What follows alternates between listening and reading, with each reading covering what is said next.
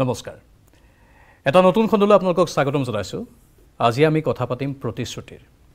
ৰ'ব প্ৰতিশ্ৰুতি মানে আকৌ নিৰ্বাচনী প্ৰতিশ্ৰুতি নহয় অথবা প্ৰেমৰ প্ৰতিশ্ৰুতিও নহয়। এই প্ৰতিশ্ৰুতি হৈছে বিনোদনৰ। এই প্ৰতিশ্ৰুতি হৈছে সামাজিক দায়বদ্ধতাৰ। আহিবলগীয়া এখন চিনেমা আৰু এই নৱতম ছবিখনক লৈ আমি বহুত আশাবাদী সেইখন চিনেমাৰেই আমি কলা কৌশলীসকলৰ সৈতে কথা পাতিম। কিন্তু প্ৰথমে প্ৰতিশ্ৰুতি চিনেমাখনৰ কলা কৌশলীক চিনাকি কৰি দিব বিচাৰিছোঁ। আপোনালোকৰ সকলোৰে পৰিচিত অসমৰ জনপ্ৰিয় অভিনেত্ৰী প্ৰস্তুতি পৰাশৰ আছে। স্বাগতম জনাইছোঁ। ধন্যবাদ। এই ছবিখনৰ অভিনেতা সিদ্ধাৰ্থ কাশ্যপ আছে আমাৰ সৈতে। স্বাগতম জনাইছোঁ। সংগীতৰ সৈতে জড়িত অমৰিনা জিৰিয়ানা আছে। স্বাগতম জনাইছোঁ। এইফালে এই ছবিখনৰ পৰিচালক কিশোৰ তহ- তহবিলদাৰ ডাঙৰীয়া আছে। স্বাগতম জনাইছোঁ। লগতে প্লাবিতা বৰঠাকুৰ। স্বাগতম জনাইছোঁ। সকলোৱে চিনিয়ে পায়। তেওঁ বলিউডৰ বহু কাম কৰি আছে। আৰু জনপ্ৰিয়তা ইতিমধ্যে অৰ্জন কৰিছে। আৰু সেইটো আমাৰ বাবে ভাল কথা। আৰু অসমীয়া চিনেমাত আমাৰ অসমৰ দৰ্শকসকলে এইবাৰ প্ৰথমবাৰ দেখা পাব। আৰু এই ছবিখনৰ প্ৰযোজক লগতে এই ছবিখনৰ কাহিনী যিজন ৰচক ৰাতুল বৰুৱা ডাঙৰীয়া আমাৰ সৈতে আছে। স্বাগতম জনাইছোঁ। আমি অলপ কথা পাতিম ছবিখনক লৈ। ছবিখনত কেনেধৰণৰ সোৱাদ পাব আপোনালোকে? ৰোমাঞ্চ একশ্যন আৰু কি কি? থ্ৰিলাৰ গোটেইখিনি একেলগে পাবনে নাপায়? সেইখিনি কথাই মই পাতিব বিচাৰিছোঁ। আমি গম পোৱা মতে ছবিখনত ভিন্ন ধৰ্মী মানে ৰস পাব আমাৰ মানুহে। প্ৰস্তুতি প্ৰকাশৰ পৰাই জানিব বিচাৰিছোঁ। আপোনাৰ চৰিত্ৰটো অলপ বেলেগ দণ্ডাৰ চৰিত্ৰ। পুলিচ অফিচাৰ ছবিখনৰ ছবিখনৰ যিটো বিষয়বস্তু সেইটোৱে হৈছে হিৰো ছবিখনৰ। আৰু খুব এটা কাৰেণ্ট আমাৰ সমস্যা এটাক লৈ ছবিখন নিৰ্মাণ কৰা হৈছে। ছবিখন নিৰ্মাণ কৰাৰ উদ্দেশ্যটো হৈছে এটা সামাজিক সচেতনতা। যিহেতু ড্ৰাগছৰ কথা আমি ডেইলি আমি পায়ে থাকোঁ নহয়। বিভিন্ন ধৰণৰ সময়ত ড্ৰাগছৰ কেনেকৈ সৰবৰাহ চলিছে ড্ৰাগছৰ প্ৰয়োভৰত কেনেকৈ যুৱ প্ৰজন্ম ধ্বংসৰ মুখলৈ গৈছে কিমান এটা সামাজিক মানে পৰিৱৰ্তন হৈছে সেই ড্ৰাগছৰ কাৰণে পৰিয়ালবোৰ বিধ্বস্ত হৈ পৰিছে সেই বস্তু আমি প্ৰায়ে দেখি থাকোঁ। কিন্তু একেবাৰে সেইটো বিষয়ৰ লগত বিষয়ৰ ওপৰত নিৰ্ভৰ কৰি এখন কমাৰ্চিয়েল ছবি কৰাৰ দুঃসাহস কৰাটো বৰ ডাঙৰ কথা। আৰু ৰাতুল বৰুৱাদেৱৰ তেখেতৰ নিজস্ব এটা পৰিকল্পনাৰে নিজৰ এটা চিন্তাৰে তেওঁ কাহিনীটো বনাইছে। খুব ইজি এটা নৰ্মেল কাহিনী যিটো কাহিনীত সচৰাচৰ পৰিয়ালত যিবোৰ ঘটি থাকে সেইখিনি বস্তুৱে দেখিবলৈ পাব আৰু তাৰ মাজতে কিন্তু সেই সচেতনতাখিনি বা কিয়নো হয় ইয়ে হ'লেনো কেনেকুৱা হয় সেই প্ৰশ্নবোৰৰ উত্তৰবোৰ বিচাৰি পাবলৈ চেষ্টা কৰিব দৰ্শকে। আৰু মোৰ চৰিত্ৰটো এগৰাকী মোৰ ভাল লগা এটা চৰিত্ৰ ৰূপায়ণ কৰিবলৈ সুবিধা পাইছোঁ। খাকী পোচাকযোৰ বৰ ভাল পাওঁ। আৰু খাকী পোচাকত বোধহয় চিনেমা এইখনে প্ৰথম হ'ব নেকি মোৰ? নাটকত ওলাইছোঁ চিনেমাত ওলোৱা নাছিলোঁ এতিয়ালৈকে। গতিকে চৰিত্ৰটো মোৰ নিজে কৰি খুব ভাল লাগিছে কাৰণ দীৰ্ঘ দিনৰ বিৰতিৰ পাছত ছবি এখন কৰিবলৈ লৈছোঁ। যদিও মোৰ স্পেচিয়েল এপিৰিয়েঞ্চ ছবিখনত কিন্তু এটা বেকগ্ৰাউণ্ড আছে বৰ সুন্দৰ ইম'চনেল বেকগ্ৰাউণ্ড আছে। যদিও খাকী বুলি ক'লে সদায় এটা এই তুমি যিটো ক'লাই যে ষ্ট্ৰং বা দুৰ্ধৰ্ষ তেনেকুৱা ধৰণৰ হয় সাংঘাতিক এটা ইম'চনেল বেকগ্ৰাউণ্ড আছে। কিয়নো তেওঁ মানে লাগিছে ইমান যুঁজিছে ড্ৰাগছৰ বিৰুদ্ধে। গতিকে সেই চৰিত্ৰটো কৰি খুব ভাল লাগিলে আৰু মোৰ যেতিয়া ভাল লাগিছে ডেফিনেটলি দৰ্শকে চাগে চাই ভালেই পাব। নিশ্চয়। আৰু আমি ট্ৰেইলাৰটো দেখি অনুমান কৰিছোঁ যে ট্ৰেইলাৰটোৰ পৰা এটা কথা আমি গম পাইছোঁ যে ছবিখনত ভিন্নধৰ্মী ৰসটো থাকিবই। লগতে মনোৰঞ্জনৰ ভৰপূৰ সোৱাদ ইয়াত পাব। ৰাতুল বৰুৱা ডাঙৰীয়া মনোৰঞ্জনৰ বাবে বিশেষভাৱে চিন্তা কৰা হৈছে। মানে আমি দুটা দিশ আজিকালি চিনেমাত দেখিবলৈ পাওঁ যে চিনেমাবোৰ সামাজিক দায়বদ্ধতাৰ দিশটোকো গুৰুত্ব দিয়ে আৰু লগতে মনোৰঞ্জনৰ ক্ষেত্ৰত কোনো কম্প্ৰমাইজ কৰা নহয়। আপোনালোকে হয়তো কম্প্ৰমাইজ কৰা নাই।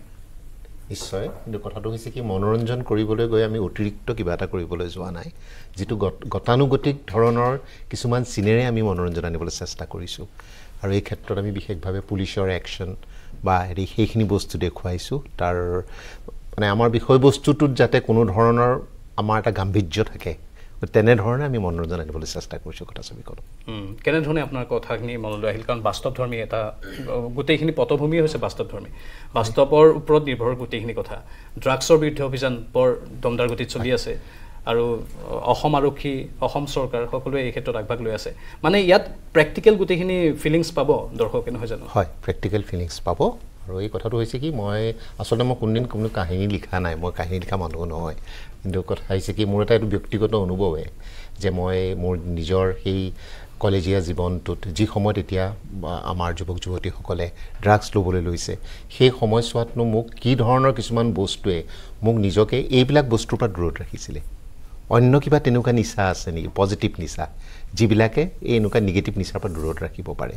সেই কথাখিনি ভাবিয়েই মই চিন্তা কৰিছিলোঁ আৰু মই সেইভাৱেই মই কাহিনীটো এটা ভাবি লৈ এটা কাহিনী কৰিছিলোঁ আৰু তাৰ লগে লগে বৰ্তমান অৱস্থাত যে পুলিচ প্ৰশাসন আৰু চৰকাৰে কৰা যিখিনি কাম কৰি আছে সেইখিনিয়ে চাফিচিয়েণ্ট নেকি? যে আমাৰ জনসাধাৰণৰ তাত কিবা কৰিব লগা আছে নেকি? আৰু তাৰ লগে লগে পৰিয়ালৰ পৰিৱেশো হয়তো আমাৰ এই ড্ৰাগছৰ প্ৰতি হয়তো নৱপ্ৰজন্মক আসক্ত কৰিছে নেকি? সেই বস্তুখিনি তেনেকুৱা কিছুমান সম্পূৰ্ণ সকলো দিশটো দেখুৱাটো সম্ভৱ নহয়। তাৰ মাজেৰে আমি দুই এটা দিশ আমি দেখুৱাইছোঁ যে যে পৰিয়ালৰ কিছুমান পৰিৱেশেও আচলতে এনেকুৱা এটা ড্ৰাগ আসক্ত হ'বলৈ প্ৰেৰণা যোগায়। বঢ়িয়া বৰ ভাল কথা। আৰু প্লাবিতা বৰঠাকুৰ আছে আমাৰ সৈতে। প্লাবিতা বৰঠাকুৰক মই এনেই চিনেমাত দেখিছোঁ। আজি প্ৰথম মুখামুখি হৈছোঁ। ভাল লাগিছে। প্লাবিতা বৰঠাকুৰক লৈ যিটো আমি আশা কৰি আছিলোঁ যে তেনেকুৱাই আপুনি। মোৰো ভাল লাগিছে ধন্যবাদ। হয়। এতিয়া অসমীয়া চিনেমা হিচাপে এইখন প্ৰথম আপোনাৰ? আপুনি আগতে বহুত ভাল ভাল কামো কৰিছে।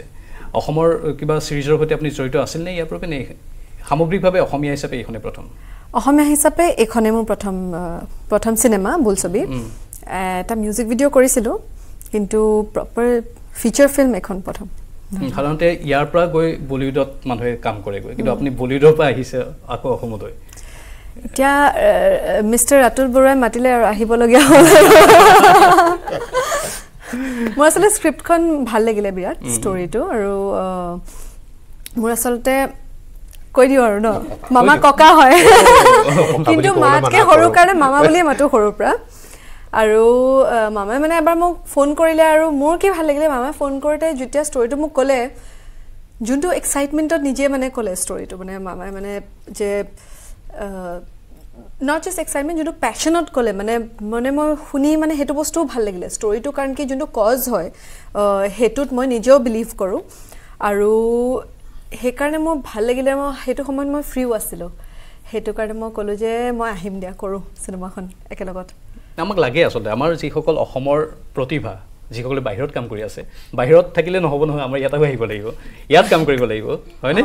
আৰু আপোনালোকৰ সেইখিনি আমাৰ যিটো ভাষাৰ ওপৰত আপোনালোকৰ মৰম আছে ভাষাৰ প্ৰতি মৰম আছে সেই মৰমটো বা আমাৰ কৃষ্টি সংস্কৃতিৰ প্ৰতি যিখিনি মৰম আছে সেই মৰমখিনি আমি আমাৰ অসমীয়া চিনেমাৰ জৰিয়তে দেখা পাব বিচাৰোঁ মানে। সেইটো আপোনালোক আপোনালোকৰ জৰিয়তে বা আপোনাৰ জৰিয়তে এইবাৰ আমি দেখা পাম প্ৰতিশ্ৰুতিত প্ৰতিশ্ৰুতি ঠিকে আছে আমি আৰু বহু কথা পাতিম।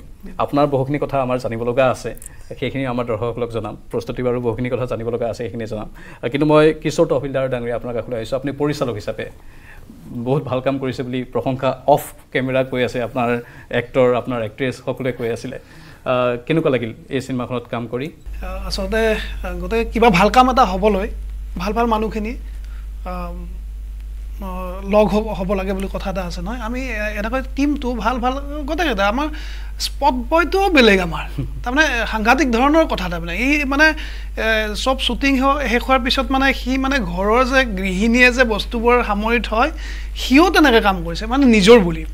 গতিকে আমি চবেই তেনেকৈ নিজৰ বুলি কাম কৰিছোঁ। আৰু এখন প্ৰতিশ্ৰুতি ৰাইজক এটা দিছোঁ। ড্ৰাগছৰ এগেইনষ্টত ড্ৰাগছমুক্ত সমাজ এখন গঠন কৰাৰ কাৰণে আমি চেষ্টা চলাইছোঁ। এনেকৈও এটা চেষ্টা চলাইছোঁ আমি। আৰু প্ৰতিশ্ৰুতি আমি দৰ্শককো দিছোঁ যে এখন ভাল চিনেমা দেখাম সেয়াও আমাৰ প্ৰতিশ্ৰুতি। গতিকে খুব ভাল অভিজ্ঞতা এটা। ভাল পাব মানুহে চিনেমাখন আমাৰ। ঠিক আছে। আপুনি প্ৰতিশ্ৰুতি দিছে যেতিয়া আমি আশা কৰিব পাৰোঁ ভাল চিনেমা এখন দেখা পাম বুলি। দুজন বিশেষ ব্যক্তিও আছে আমাৰ সৈতে সিদ্ধাৰ্থ কাশ্যপ অভিনেতা হিচাপে আমি দেখিছোঁ বহুততে। সিদ্ধাৰ্থক সেইখনত কাম কৰি স্বাভাৱিকতে ভাল লগা বুলিয়ে ক'ব পাৰোঁ। কিন্তু আপোনাৰ পৰা জানিব বিচাৰিছোঁ ব্যতিক্ৰম কি পালে ইয়াত প্ৰতিশ্ৰুতি? যিহেতু মোৰ ফাৰ্ষ্ট ফিল্ম হয় চ' মই হোপ কৰি আহিছিলোঁ যে মই ফিল্মখনৰ পৰা বহুত বস্তু শিকিব পাৰিম। স্পেচিয়েলি প্ৰস্তুতি বা আছে প্লাবিতা আছে ছাৰ আছে আৰু আৰু- বহুত এক্টৰ আছে যাৰ পৰা মই বহুত বস্তু শিকিব পাৰিছোঁ মই। আৰু আমি চবে এটা টীম হিচাপে মই কাম কৰিছোঁ ফিল্মখনত আৰু মই সেইটোৱে চবতকৈ মোৰ মানে এচিভমেণ্ট বুলি কওঁ যে মই মই ইমান ফেমাছ পাৰ্চনেলিটিজবোৰৰ লগত কাম কৰিছোঁ। মোৰ সেইটো বহুত ভাল লাগিছে। বঢ়িয়া। আৰু এইখন চিনেমাৰ আন এটা বিশেষত্ব হৈছে যে সংগীতৰ ক্ষেত্ৰত তেওঁলোকে ভিন্ন সংগীত পৰিচালকক লৈছে। মানে এজন সংগীত পৰিচালকৰ দ্বাৰা ইয়াৰ গানবোৰৰ সংগীত পৰিচালনা কৰা নাই। কেইবাটাও গান আছে আৰু তাত জুবিন গাৰ্গ আছে আৰু বহুকেইজন আছে। জজ' আছে আৰু তাৰে ভিতৰত অমৰিনা জেৰিয়ানাও আমাৰ সৈতে আছে। আপোনাকো স্বাগতম জনাইছোঁ। প্ৰতিশ্ৰুতিত আপোনাৰো কাম থাকিব। হয়। আচলতে চিনেমাখনৰ লগত একদম আৰম্ভণিৰ পৰা জড়িত আছোঁ। হঠাতে মনত পৰিছে এই কথাটো। মহায়ে যিদিনাখন মানে যেতিয়াৰ পৰা কামটো আৰম্ভ হৈছে স্ক্ৰিপ্ট যেতিয়াৰ পৰা লিখিছে কাহিনীটো যেতিয়াৰ পৰা হৈছে তেতিয়াৰ পৰা মোৰ লগত যোগাযোগত আছে যে আমৰিনা এনেকৈ এই চিনেমাখন হ'ব। তুমি গানকেইটা লিখিবাচোন। মই একো নোহোৱাকৈ মোৰ মানে বিৰাট ভয় লাগিছে আচলতে। একো নোহোৱাকৈ কামটো চিনেমাখন আগনবঢ়াকৈ গানটোনো কেনেকৈ লিখিম?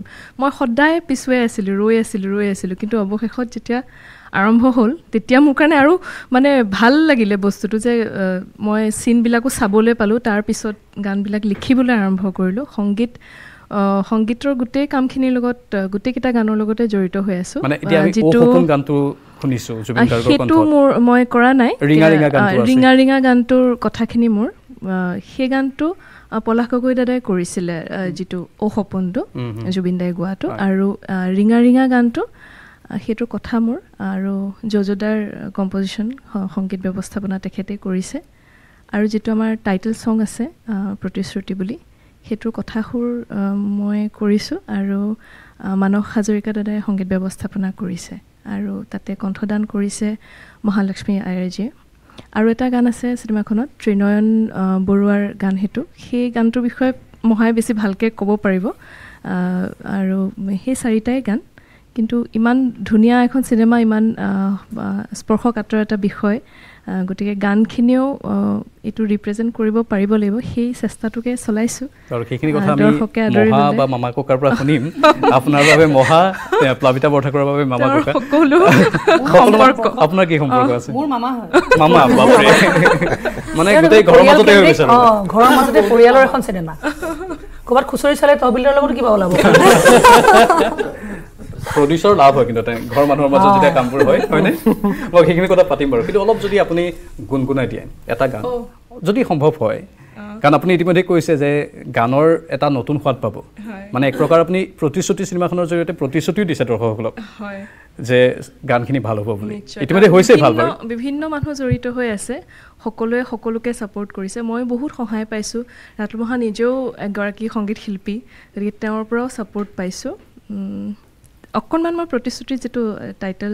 ছং সেইটোকে দুলাইন গাই দিছোঁ হাই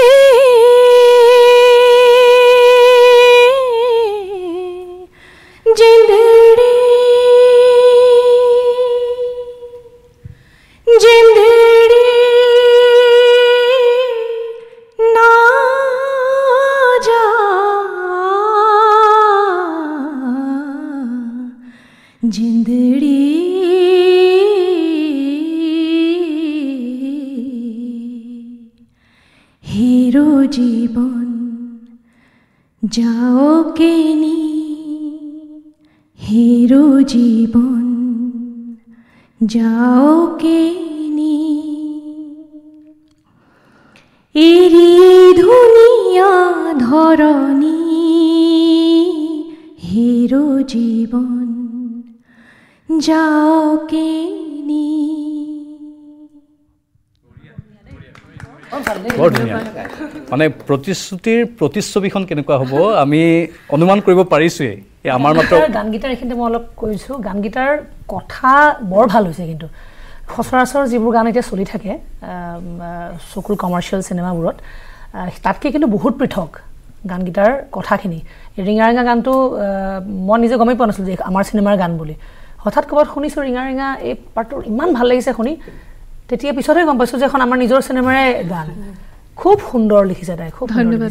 যিটো গান তাই লিখা নাই সেইটোও খুব ভাল হৈছে। আৰু গোটেইকেইটা গান একদম বেলেগ ৰসৰ হৈছে। ৰসটো আমি পাইছোৱেই বাৰু। য'ত প্ৰস্তুতি পৰাশৰ আছে তাত আৰু অনন্য এটা ৰস থাকিবই। কিন্তু আপোনাৰ অলপ মই ৰহস্য জানিব বিচাৰিছোঁ। ইমান চিনেমা কৰি আছে ইমান থিয়েটাৰ কৰি আছে ইমান ব্যস্ত আপুনি সময় পাৰ কৰি থাকে। কিন্তু আপুনি ফিটনেছটো ভালদৰে মেইনটেইন কৰি থাকে। এই চিনেমাখনতো আপোনাৰ ফিটনেছৰ এটা বিশেষ আমি ৰূপ দেখিবলৈ পাম। পুলিচ অফিচাৰৰ চৰিত্ৰত যিটো আপুনি অভিনয় কৰিব জিম আজিকালি খুব গৈ আছে নেকি? কাম কৰি আছোঁ কাৰণে ফিট হৈ আছোঁ। আৰু খাদ্য কি খায় আপুনি? জীয়াই থাকিবলৈ খাওঁ খাবলৈ জীয়াই নাথাকোঁ। সেইটোৱে মূল মন্ত্ৰ আৰু।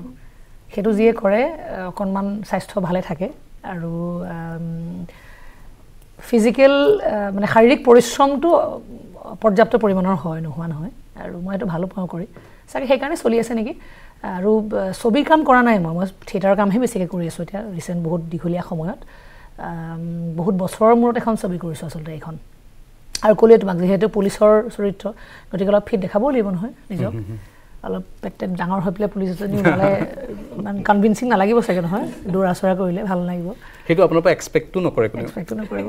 প্ৰস্তুতি পৰাশৰত তেনেকুৱা এটা ৰূপত কোনেও চাব নিবিচাৰিব স্বাভাৱিকতে কিন্তু যি কি নহওক আপোনাৰ কাম সকলোতে ভাল। আৰু মই জানো যেনেধৰণে আমি বলিউডত আমিৰ খানৰ ক্ষে- ক্ষেত্ৰত কওঁ পাৰফেকশ্যনিষ্ট ঠিক তেনেধৰণে অসমীয়া ছবিৰ ক্ষেত্ৰত প্ৰস্তুতি পৰাশৰকো আমি আমি- ধৰি লওঁ। আমি আমি ইমান বেছি এটা খুব মানে বাহিৰত শিল্পীসকলে যিটো এটা পৰিৱেশত কাম কৰে সিমান বেছি পৰিপক্ক পৰিৱেশ আমি ইয়াত নাপাওঁ কাৰণ আমাৰ ইনপুটছ বহুত কম হয়। সেই কম ইনপুটছৰ মাজত আমি কিমানখিনিলৈকে আমাৰ নিজৰ এশ শতাংশ দিব পাৰোঁ সেইটোৱে চেষ্টা কৰোঁ সদায়। আৰু এই ছবিখনত যিহেতু বহুত দিনৰ বিৰতিৰ পিছত এখন ছবি কৰিছোঁ বা কেমেৰা কাম কৰিছোঁ নকৰা নহয় কিন্তু ছবি যিহেতু বহুত দিনৰ মূৰত কৰিছোঁ। গতিকে যিবোৰ চিন আছে ছবিখনত সেই চিনবোৰত ক'ৰবাত মই নিজে চাই এটা অলপ পৃথক ৰূপত নিজক নিজে আৱিষ্কাৰ কৰিছোঁ এইকাৰণেই চাগে। এটাটো হৈছে দীঘলীয়া সময়ৰ পিছত ছবি এখন কৰিছোঁ গতিকে ছবিখনৰ প্ৰতি এটা আগ্ৰহ ডেফিনেটলি থাকিব। আৰু দুই নম্বৰ আটাইতকৈ ডাঙৰ পইণ্টটো হৈছে ছবিখনৰ বিষয়বস্তুটো।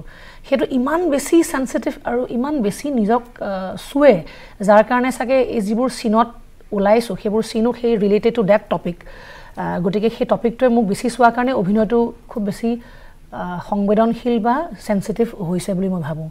আৰু যেতিয়া এগৰাকী শিল্পীয়ে নিজৰ কামটো ছেটিছফাইটো সদায় নহয়েই দিয়াচোন। সেইটো ছেটিছফাই হোৱাটো সহজো নহয় বা সম্ভৱো নহয় বা উচিতো নহয়। তৎসত্ত্বেও কেতিয়াবা ভাল লাগে যে কিছুমান কাম নিজৰ অকণ বেলেগ হৈছে বুলি। আৰু যেতিয়া বেলেগ হোৱা যেন অনুভৱ কৰা যায় তেতিয়া দৰ্শকে চাগে ভাল পাব যেন লাগে আৰু। হয় চাই। সেইটোৱে। আৰু সেইটো শিল্পী কলা কৌশলীৰ ক্ষেত্ৰত বিশেষকৈ আপোনালোকৰ দৰে শিল্পী কলা ক্ষেত্ৰত সেইটো আমি বৰ ভালদৰেই মন কৰোঁ সূক্ষ্মভাৱে মন কৰোঁ। আৰু আপোনালোকৰ কথাটো সেইটো আমি গম পাইছোঁ যে আপোনালোকে কৈছে যে এশ শতাংশ ছেটিছফাইডটো হ'ব নোৱাৰে কোনেও। কিন্তু সেইটোৱে ডাঙৰ কথা সেইটো যে আপুনি কৈছে যে চেষ্টা কৰিছে আপোনালোকে এশ শতাংশ ছেটিছফেকশ্যনটো দিবলৈ কিন্তু তাৰ পাছত যদি নোৱাৰে এইটো বেলেগ কথা আৰু। প্লাবিতা বৰঠাকুৰৰ কেনেকুৱা লাগিল? প্ৰস্তুতি পৰাশৰ বুলি ক'লেই। অসমীয়া চিনেমাৰ এটা অনন্য নাম ন? অঁ। আপুনিতো বলিউডৰ বহুত মানুহক লগ পাইছে।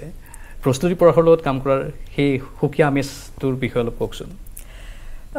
মোক খুব ভাল লাগিলে। একচুৱেলি মই কওঁ যে প্ৰস্তুতি বা একদম মোৰ কাৰণে ইনস্পিৰেশ্যন কাৰণ কি মই সেইটোৱে সদায় কৈ থাকোঁ যে তাইৰ যোনটো এনাৰ্জি যেতিয়া বা ছেটলৈ আহে মই এনেকৈ বহি থাকিলে তাইক দেখি মই চিধা হৈ যাওঁ দেখিবলৈ মই সদায় সেইটোৱে কওঁ মই সদায় সেইটো মই সদায় কওঁ ইমান চিধাকৈ ইমান ফিটকৈ কেনেকৈ থাকা মানে আৰু ৰাতি থিয়েটাৰ কৰি ৰাতিপুৱা জিমত গৈ তাৰপিছত আমাৰ শ্বুটলৈ আহে তাৰপিছতো যোনটো মানে সেই এনাৰ্জি সেইটো মোৰ খুব ভাল লাগিলে। সেইটো মানে মানে কি হয় যে মানে আমাৰ যেতিয়া মাজত বা আহে তেতিয়া অট'মেটিকলি গোটেই ছেটত আমি চবেই সেই এনাৰ্জিটো মানে পাই যাওঁ। এটা অৰা যোনটো মানে মানে যেনেকুৱা লাগে অভিভাৱক এজন যেন আহিছে তেনেকুৱা লাগে ন? অঁ, গাৰ্জেন এজন যেন অঁ, আহিছে। সেনেকুৱা যেন আহিছে। যেন মানে নহয় মানে যেন একদম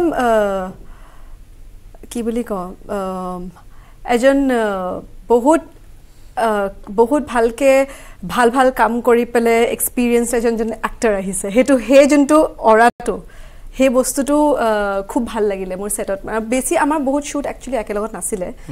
চ' আমি সেই কেইবা কেইদিনমানহে লগ মানে কাম কৰিবলৈ পাৰোঁ পালোঁ। কিন্তু সৰুতে মই প্ৰস্তুতিবাক লগ পাইছিলোঁ বহুত কাৰণ কি মোৰ বাৰ লগত একেলগত একেলগৰ আমি।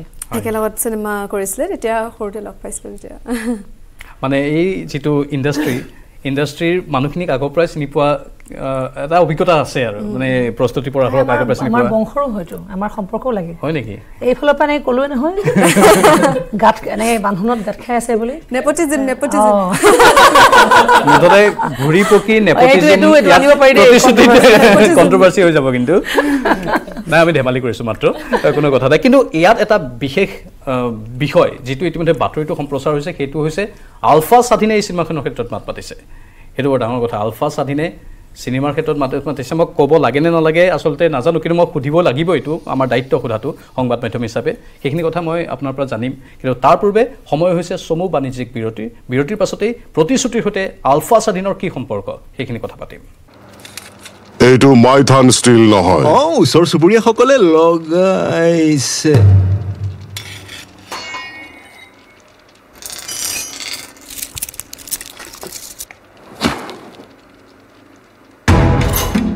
ষ্ট্ৰং মানে মাইথেন ষ্টীল কাৰেক্ট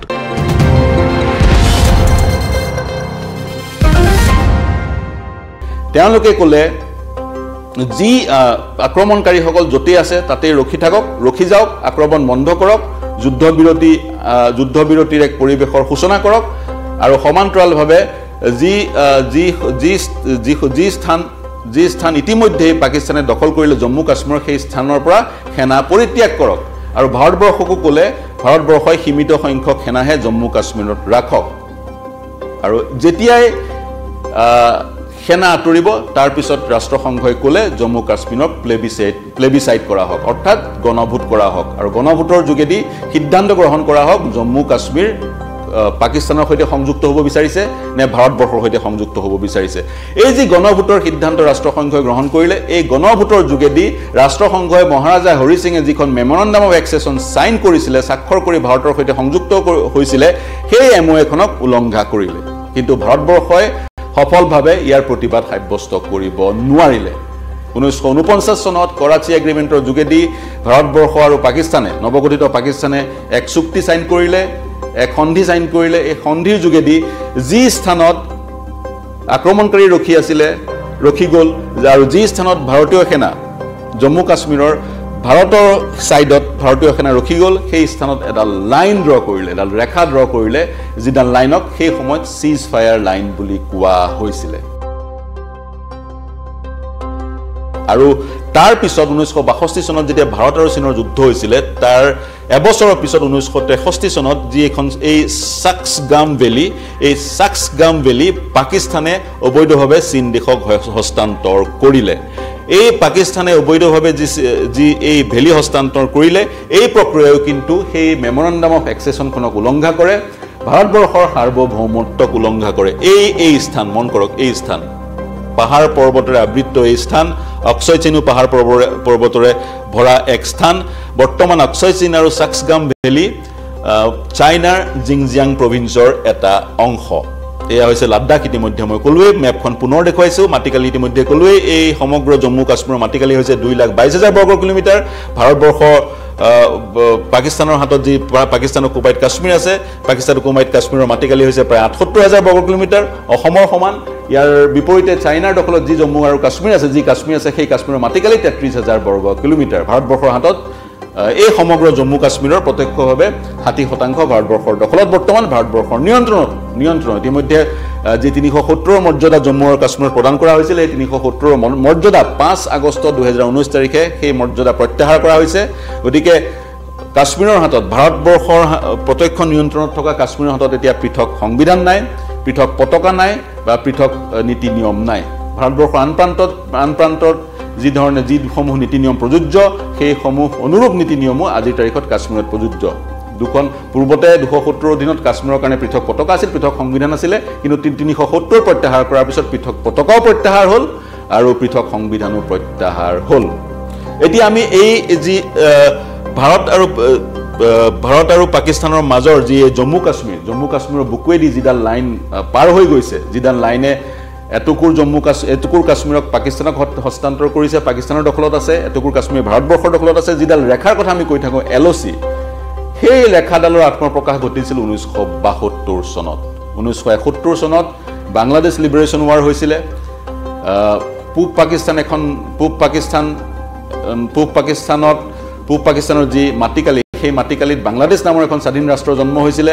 ভাৰত পাকিস্তানৰ যুদ্ধ হৈছিলে। যুদ্ধৰ পিছত ঊনৈছশ বাসত্তৰ চনত জুলফিকৰ আলী ভুট্টো সেই সময়ত পাকিস্তানৰ প্ৰধানমন্ত্ৰী আৰু ভাৰতবৰ্ষৰ সেই তেতিয়াৰ প্ৰধানমন্ত্ৰী ইন্দিৰা গান্ধীৰ মাজত এখন চুক্তি স্বাক্ষৰ হৈছিল যিখন চুক্তিক চিমলা এগ্ৰিমেণ্ট বুলি কোৱা হয়। চিমলা এগ্ৰিমেণ্টৰ অধীনত সেই ঊনৈছশ ঊনপঞ্চাছ চনৰ কৰাচী এগ্ৰিমেণ্টৰ অধীনত চিজ ফায়াৰ লাইনডালক নতুনকৈ নামাকৰণ কৰি কোৱা হ'ল লাইন অফ কণ্ট্ৰল বুলি আজিও সেই লাইনডালক লাইন অফ কণ্ট্ৰল বুলি কোৱা হয়। জুলফিকাৰ আলী ভুট্টো আৰু ইন্দিৰা গান্ধীৰ ইন্দিৰা গান্ধীয়ে এটা সিদ্ধান্তত উপনীত হৈছিলে।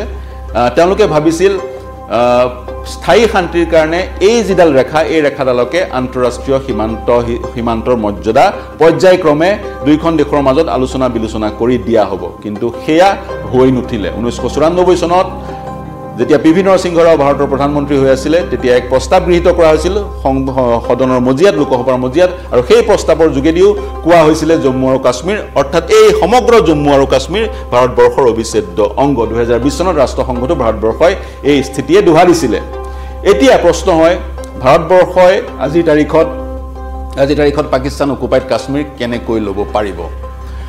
এই যি স্থান এই যি স্থান আমি দেখুৱাইছোঁ গিলগিট আৰু বাল্টিস্তান বা আজাদ কাশ্মীৰ। এই স্থান হৈছে হিমালয়ান ৰেঞ্জৰ এটা অংশ। সাত হেজাৰ মিটাৰ উচ্চতাৰ গিলগিটত দহটা পাহাৰ আছে দহটা পৰ্বত আছে। আৰু পাকিস্তানৰ অংশ ল' এলিভেশ্যনত আছে। গতিকে পাকিস্তান এটা এডভান্টেজিয়াছ পজিশ্যনত আছে বিশেষকৈ মিলিটাৰী পইণ্ট অফ ভিউৰ পৰা। ভাৰতবৰ্ষই যদিহে আক্ৰমণৰ যোগেদি এই পাকিস্তান অকুপাইড কাশ্মীৰ দখল কৰিব লাগে তেতিয়াহ'লে ভাৰতবৰ্ষই পাকিস্তানক এই পাহাৰকেইটা ভেদি আক্ৰমণ কৰিব লাগিব। আৰু যদিহে ভাৰতবৰ্ষক পাকিস্তানে আক্ৰমণ কৰে তেতিয়া ভাৰতবৰ্ষই এটা সুযোগ পাব প্ৰত্যাক্ৰমণ কৰি এই স্থান দখল কৰিবলৈ। এতিয়াও জম্মু কাশ্মীৰৰ যি বিধানসভা বিধানসভাত চৌব্বিছখন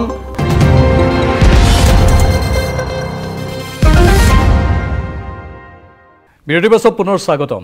আমি নতুন অসমীয়া ছবি প্ৰতিশ্ৰুতিৰ কথা পাতি আছোঁ। প্ৰতিশ্ৰুতিৰ কলা কৌশলীসকল আমাৰ সৈতে আছে। আলফা স্বাধীনে কিয় এই প্ৰতিশ্ৰুতি চিনেমাখনক লৈ মাত মাতিছে? মই ৰাতুল বৰুৱা ডাঙৰীয়া আপোনাৰ পৰা জানিব বিচাৰিছোঁ। কিয়? মানে আলফা স্বাধীনে আমি বাতৰি এটা সম্প্ৰচাৰ কৰিছিলোঁ যে এই চিনেমাখন সকলোকে চাবলৈ আহ্বান জনাইছে। আৰু কি কৈছে আলফা স্বাধীনে? আপোনাক কিবা ফোন কৰিছিল নেকি বাৰু? নাই মোৰ লগত কোনো যোগাযোগ কৰা নাই। হয়। তাৰমানে কথাটো হৈছে কি এনেকুৱা মই মোৰ কাহিনী ভাগ আচলতে মই বহুতৰ আগত কৈছোঁ। মই বহুখিনি আপোনালোকৰ সংবাদ জগতৰ ব্যক্তিৰ লগতো মই আলোচনা কৰিছোঁ।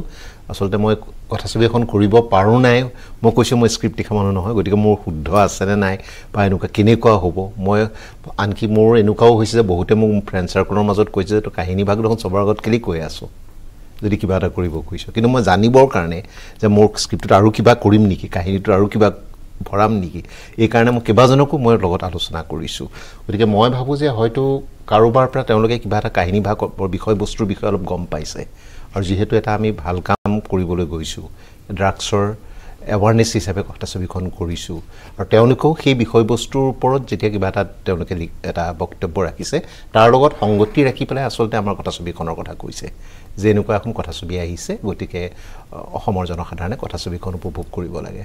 আৰু মই মই নিজে পঢ়িছিলোঁ মই আপোনালোকৰ সংবাদ মাধ্যমৰ ব্যক্তিৰ পৰাই পাইছিলোঁ তেওঁলোকৰ যিটো মেইল আছিলে। আৰু এইটো কথা কৈছিলে যে আমাৰ ছবিগৃহৰ মালিকসকলক তেওঁলোকে আহ্বান জনাইছিলে যে এই কথাছবিখনৰ সময়ছোৱাত যাতে আপোনালোকে পৰাপক্ষত হিন্দী কথাছবি নচলাব। গতিকে মোৰ কথাটো হৈছে কি এনেকুৱা ভাল বিষয়বস্তু লৈ পেলাই আলফাই নহয় যিকোনো সামাজিক অনুষ্ঠান প্ৰতিষ্ঠান বা ব্যক্তিয়ে যদি আহ, আহ্বান জনায় এনেকুৱা এটা ভাল বিষয়বস্তু লৈ- লৈ যদি মাত মাতে মই সদায় তেখেতসকলক কৃতজ্ঞতা জনাম। মানে এই বিষয়টোক আমি নিৰাৰ্থকভাৱেও ল'ব নালাগে। হয়। আমি সদৰ্থকভাৱে ল'ব লাগে। বাকী অন্য প্ৰসংগবোৰ বেলেগ কথা। সকলো চিনেমাকে আমি সন্মান কৰোঁ সেইটো মূল কথা। হিন্দী চিনেমাই হওক তামিল চিনেমাই হওক অসমীয়া চিনেমাই হওক। ভাল কাম হ'লে আমি সন্মান কৰোঁ আৰু দৰ্শকে সেইটো চাব লাগে। আৰু মূল কথা হৈছে যদি চিনেমাখন ভাল হয় দৰ্শকৰ মুখে মুখেও পাব্লিচিটি হ'ব। মানুহে মুখে মুখে ক'ব চৌব্বিছ তাৰিখে ৰিলিজ হ'ব এই চিনেমাখন। আৰু মুখে মুখে যেতিয়া পাব্লিচিটি হ'ব তেতিয়াই স্বাভাৱিকতে সেই চিনেমাৰ আদৰটো বেছি। প্লাবিতা বৰঠাকুৰে ভালকৈ ক'ব পাৰিব সেইখিনি কথা কাৰণ আমি শেহতীয়াকৈ দেখিবলৈ পাইছোঁ কণ্টেণ্টৰ ওপৰত সকলোৱে গুৰুত্ব দিছে। বিশেষকৈ আজিকালি বলিউডৰ সেই চিনেমাৰ গতানুগতিকতা আগৰ দৰে হৈ থকা নাই। মানে গতানুগতিক চিনেমাবোৰ আজিকালি মানুহে নিৰ্মাণ নকৰে পৰিচালকে নিৰ্মাণ নকৰে। যেনেধৰণে দক্ষিণ ভাৰতত এটা ব্যতিক্ৰমী কাহিনী লৈ আগবাঢ়িব পাৰে এটা সৰু বিষয়বস্তুকো অন্য ধৰণে উপস্থাপন কৰিব পাৰে। এতিয়া বলিউডতো সেইটো ট্ৰেণ্ড আহি গৈছে। হয়নে? হয় হয়। আৰু মানুহে ভাল চিনেমা হ'লে যি চিনেমাই নহওক চাবই মুঠতে। চাব প্লাবিতা বৰঠাকুৰ এনেকুৱা তাত বলিউডত থাকি এতিয়া অভিজ্ঞতাবোৰ ভালদৰে হৈ গৈছে হয়তো। যে এইটো কাম এনেধৰণে কৰিলেহে ভাল হ'ব এনেধৰণে কৰিলে বেয়া হ'ব।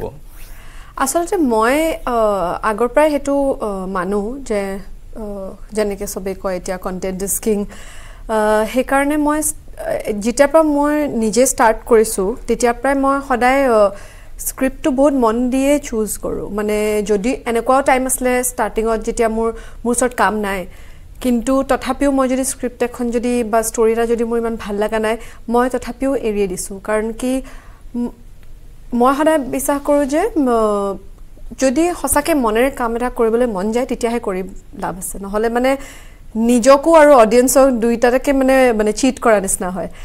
আৰু কণ্টেণ্টৰ কথা ঠিকেই কৈছে। আচলতে মোৰ লাগে যে আগৰ পৰা আমি সদায় অডিয়েঞ্চক মানে এজ ফিল্ম মেকাৰ্ছ বা ফাইনেন্সাৰ্ছ প্ৰডিউচাৰ্ছ মই বলিউডৰ কথা কৈছোঁ আগৰ পৰা সদায় মানুহে কি কৰে যে এটা বস্তু যদি চলিলে সেইটো ষ্টাইলতে তেতিয়া আৰু চব বনাই থাকে।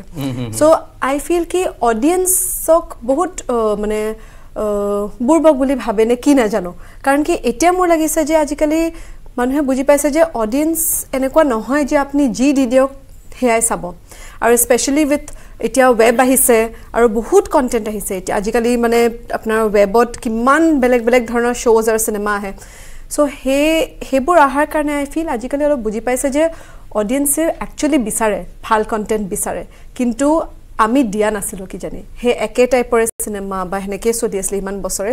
এতিয়া এই ৱেব অহাৰ কাৰণে যেতিয়া কণ্টেণ্টবোৰ মানুহে চাবলৈ লৈছে তেতিয়া এটলিষ্ট তাতে বলিউডত চবেই এতিয়া লাহেকৈ বুজি পাইছে যে আচ্ছা তাৰমানে কণ্টেণ্টটো ভাল হ'ব লাগে আৰু ভালকৈ বনাব লাগে সেইটোৱে মেইন মেইন কথা সেইটোৱে। কাৰণ কি এতিয়া অকল সেই মানে সলমান খান হ'লেই যে চিনেমাখন হিট হ'ব সেইটো কথা নহয়। আগৰ নিচিনা নহয়। কিন্তু অডিয়েঞ্চৰ আৰু এটা বস্তু বুলি কৈছোঁ মই অডিয়েঞ্চৰ এটা চখ বা এটা ইচ্ছা এতিয়াও কিন্তু সলনি হোৱা নাই। সেইটো হৈছে সুন্দৰ অভিনেতা অভিনেত্ৰীৰ প্ৰতি। অভিনেতা অভিনেত্ৰী সুন্দৰ অভিনেতা অভিনেত্ৰীক চাই ভাল পায়। সেইকাৰণে প্ৰস্তুতি পৰাশক চাই ভাল পায় প্লাবিতাক চাই ভাল পায় সিদ্ধাৰ্থক চাই ভাল পায়। প্লাবিতাৰ এই সুন্দৰতাৰ আৰু ৰহস্য প্ৰস্তুতি বাক বাৰু মই সুধিলোঁ প্লাবিতাৰ অলপ জানিব বিচাৰিছোঁ। মই অফ কেমেৰা দেখিছোঁ প্লাবিতাই আলমণ্ড খাই আছিলে। ড্ৰাই ফ্ৰুটছ খাই আছিলে। পানী খাই খুব খায়। পানী খুব খায় ভাত খুব কম খোৱা হয় নেকি? কাৰ্বহাইড্ৰেট লোৱা নহয় মানে। মানে মই কাৰ্বহাইড্ৰেটছ খাওঁ অলপ কমপ্লেক্স কাৰ্বহাইড্ৰেটছবোৰ বেছিকৈ খাওঁ কিনোৱা চিনোৱা এইবিলাক। আৰু ভাত নোখোৱা নহয় মোৰ আচলতে মই সৰুৰ সৰুৰে পৰাই মোৰ ভাত ভাত ৰুটিলে ইমান ইণ্টাৰেষ্টেড নাই। মই আগৰ পৰাই বেলেগ বেলেগ ষ্টাইলৰ খানা খাই ভাল পাওঁ। মই ঘৰত সেইকাৰণে মোৰ কুকজনীক চব শিকাই থৈছোঁ। ভাত মোৰ আচলতে চাউলটো চুচি বনাওঁতেহে বনাই চাগে। বা খিচিৰি খাই ভাল পাওঁ সেইটোত চাউলটো যায়। কিন্তু মই চব মানে অলপ বেলেঞ্চডকৈ খাওঁ। আৰু বাকী যেনেকৈ প্ৰস্তুতি বাই কৈছিলে যে জীয়াই থাকিবলৈ কাৰণে খাওঁ মই একজেক্টলি সেনেকুৱা নহয়। মই সেই দুইটাৰ মাজত এটা বেলেঞ্চ কৰোঁ। মই নিজকে এটা সময়ত শিকাই দিলোঁ যে ভজা বস্তু বা অইলি বস্তু বা যোনবোৰ এগাল মিঠা বস্তু বা একদম একেবাৰে যোনবিলাক পঞ্জাবী বা নৰ্থ ইণ্ডিয়ান ষ্টাইলৰ যোনবিলাক মানে ফেটি খানা ইণ্ডিয়ান ফুড মই আগতে নিজকে সদায় ক'লোঁ যে এইটো খাবলৈ টেষ্টটো বেয়া বেয়া বেয়া বেয়া। কৈ কৈ কৈ এতিয়া মই ভাবি ল'লোঁ যে মই বেয়াই পাওঁ সেইকাৰণে মই নুচোৱে। কিন্তু এটা বস্তুক নোৱাৰিলোঁ সেইটো হ'ল পুচকা। সেইটো আৰু অসম আহিলে এভৰি ডে হিৰণ সিদ্ধাৰ্থৰ আমাক কিবা এটা ডাবিঙৰ পিছত হয় ন? বম্বেত নাপায় নহয় বম্বেত পানী পুৰি ষ্টাইলত বেলেগ ষ্টাইলত পায়। একদম ভাল নালাগে। ইয়াতে আহিলে মই এভৰি ডে পুচকা খাওঁ। সেইটো মানে মোৰ মাহঁতেও জানে আৰু। ৰাস্তা ৰাস্তা একদম কিন্তু সেই ৰঙা কাপোৰখন যে মাৰি লয় যিমান হাতখন লেতেৰা সিমানে মানে ইমান জনপ্ৰিয় অভিনেতা অভিনেত্ৰীয়ে সেইটো কথা কৈছে। যিমান হাতখন লেতেৰা সিমানেই টেষ্টি হয়। এই মোৰ গ্লাভ চাভ পিন্ধিলে নাই কাম নাই। আমি আকৌ বহুত বেলেগ ধৰণে ভাবি আছিলোঁ প্লাবিতাৰ ছবিখন। মই কিশোৰ তহবিলদাৰ পৰা এটা কথা জানিব বিচাৰিছোঁ যে আজিকালি অসমীয়া ছবিটো দেখিবলৈ পোৱা গৈছে। যেনেদৰে আমি প্লাবিতাৰ সৈতে কথা পাতিলোঁ এতিয়া বাহিৰৰ যিবোৰ ছবি আছে দক্ষিণ ভাৰতৰ যিবোৰ ছবি আছে বা বলিউডৰো এতিয়া ছবিবোৰত সেইবোৰ এপ্লাই কৰা হৈছে। অসমীয়া ছবিবোৰো কিন্তু কোনো কোনে কম হৈ থকা নাই মানে পিছ পৰি থকা নাই। এতিয়া আপোনালোকে চাওক ড্ৰাগছৰ দৰে এটা বিষয়ক লৈ চিনেমা বনাই দিছে। মানে তাক কিমান চাগে আপোনালোকে কেয়াৰ কৰিছে বিষয়টোৰ ওপৰত কোনটো টপিকত কেনেধৰণে কি কেমেষ্ট্ৰি মিলিব সেইবোৰ আপোনালোকে হয়তো পৰ্যালোচনা কৰিছে। মানে অসমীয়া ছবি জগততো বা সাংস্কৃতিক জগতখনতো এতিয়া সেইবোৰ মানে এনালাইচিছ কৰাৰ প্ৰক্ৰিয়াটো আহি পৰিছে নহয় চব দিশ চালি জাৰি চাই চিনেমাখন বনোৱা হয়। আমাৰ এই চিনেমাখনৰ এনেকুৱা হ'ল বৰুৱাদাই এদিন ফোন কৰিলে প্ৰথম চিনাকি ফোনত ক'লে যে মই এনেকুৱা চিনেমাখন বনাব খোজোঁ আপুনি এখন চিনেমা কৰিছে প্ৰভাত গোস্বামীদেৱ তেখেত সাহিত্যিক নাট্যকাৰ পৰিচালক তেখেতৰ থ্ৰুৰে ফোনটো কৰিছিলে। তো মই আগতে কৈছোঁ যে আপুনি ষ্টৰি শুনাব পাৰিব কিন্তু মোৰ কথা মোৰ ভাল লাগিলে য়েছ আৰু ভাল নালাগিলে ন' কৈছে আপুনি অলপ সময় দিব নাই মই অলপ কেইটামান বাক্যত আপোনাক ক'ম। তো তেওঁ যেতিয়া ক'লে তাৰপিছতে মই তেতিয়া কৈছোঁ কৰিম আমি কথা পাতিম।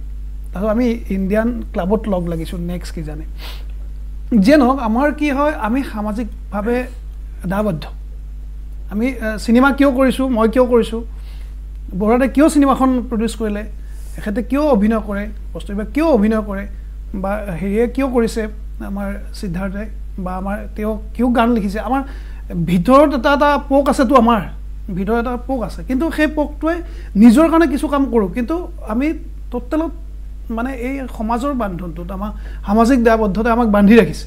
আমি কি কি কৰিম? গতিকে আমাৰ এই ইয়াতো চিনেমা এইখনৰ প্ৰতিশ্ৰুতিটো আমাৰ যে আমি দৰ্শকে কি বিচাৰে? মনোৰঞ্জন বিচাৰে। মনোৰঞ্জনৰ লগত দৰ্শকক আমি কি কৰিম? কি দিম? কিবা এটা দিব লাগিব। গুজি দিব লাগিব মগজুত।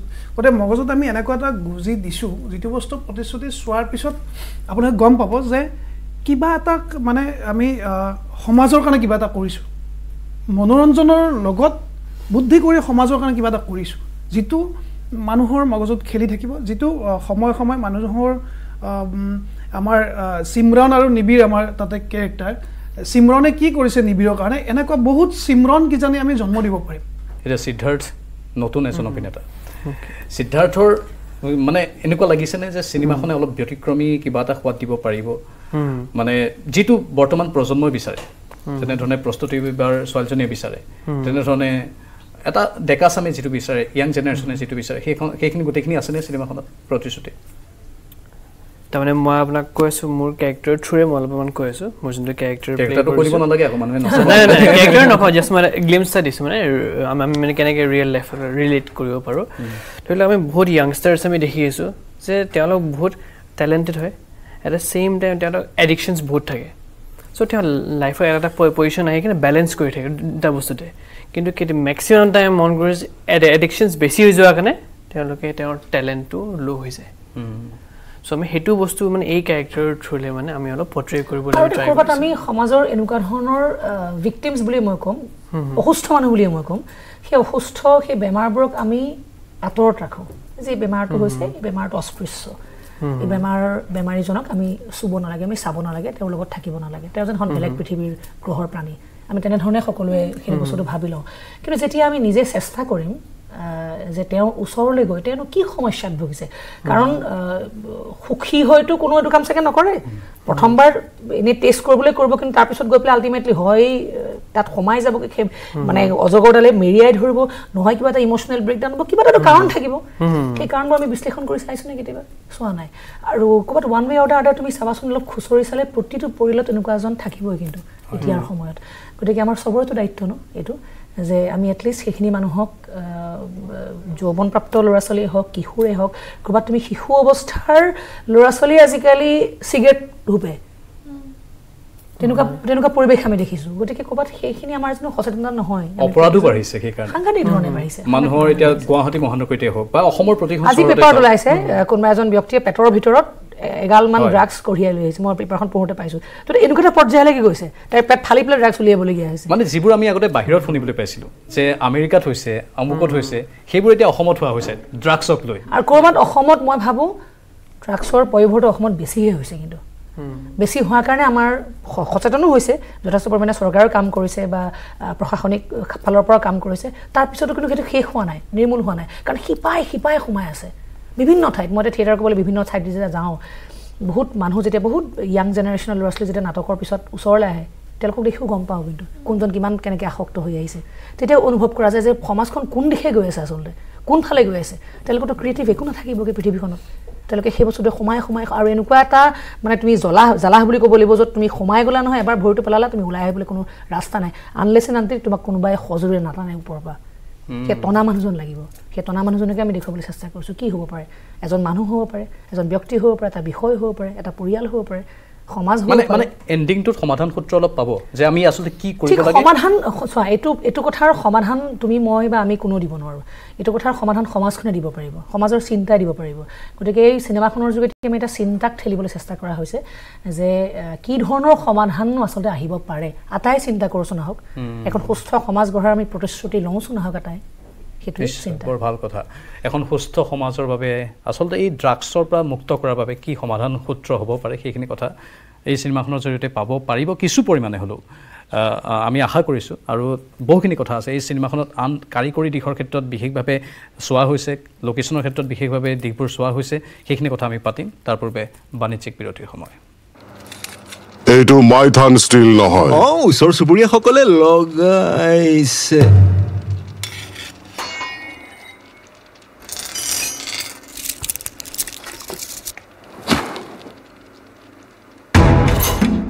ষ্ট্ৰং মানে মাইথান ষ্টীল কাৰেক্ট